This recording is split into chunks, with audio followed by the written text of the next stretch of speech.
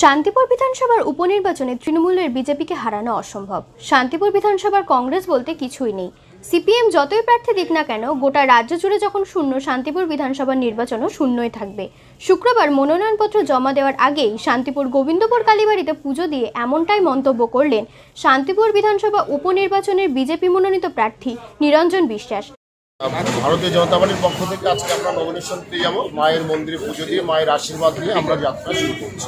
বিজেপির মতো বিজেপির মতো দল সারা ভারতবর্ষের মানুষ যাকে গ্রহণ করেছে নরেন্দ্র মোদীর উন্নয়নকে পাথেয় করে বিজেপির নীতি এবং আদর্শকে দেখে সারা ভারতবর্ষের মানুষ বিজেপির পাশে এসে দাঁড়িয়েছে। বিজেপিকে হারানো মমতার পক্ষে অসম্ভব।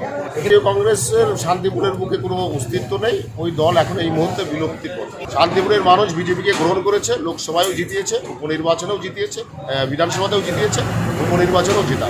না, মানুষ প্রস্তুতি নিয়েছে, দল আমাদের প্রস্তুত আছে, কর্মীরা পথে পথে আছে, আমাদের কোনো অসুবিধা নেই। আমাদের শান্তিপুরের প্রতিপক্ষ বলে কিছু নেই, বিজেপি তৃণমূল থেকে বিজেপিতে আসার জন্য আমাদের সঙ্গে এখন যোগাযোগ শুরু হয়েছে। সাথে ছিলেন নদিয়ার দক্ষিণ বিজেপির সভাপতি অশোক চক্রবর্তী সহ কয়েকশো বিজেপি কর্মী। শুক্রবার রানাঘাট মহকুমা শাসকের দপ্তরে মনোনয়নপত্র জমা দেওয়ার উদ্দেশ্যে শান্তিপুর থেকে রওনা দিলেন বিজেপি কর্মী সমর্থকদের সাথে নিয়ে। আজকের শান্তিপুরের রাজনীতির দিকে মানুষের যে উৎসাহ পরিষ্কার বোঝা যাচ্ছে। যে কংগ্রেস প্রার্থী জামানত বাজেয়াপ্ত হবে, সিপিআইএম বিলুপ্ত প্রায় পার্টি।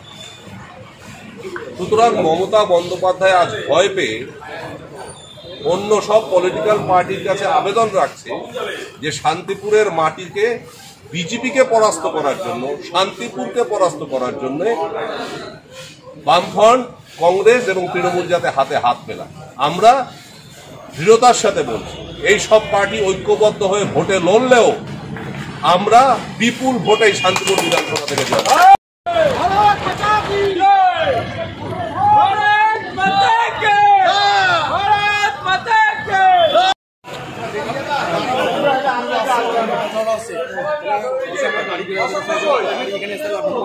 ওখানে